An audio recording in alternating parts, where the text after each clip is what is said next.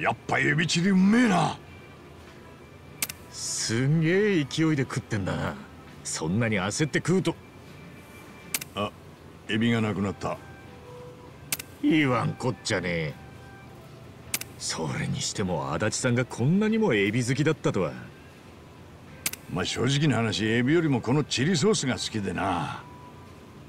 このうまいソース一滴でも無駄にしたくねえへえ。そんじゃあそんな足立さんのために追加であれを頼むとするか。え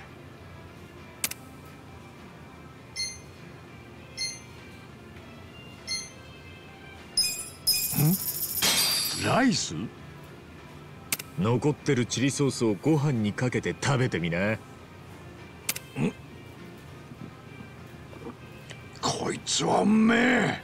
チリソース丼だだろこれでソースを余すことなく楽しめるってもんさ。なるほどな。こいつはナイスアイデアだぜ春日。ごちそうさまでした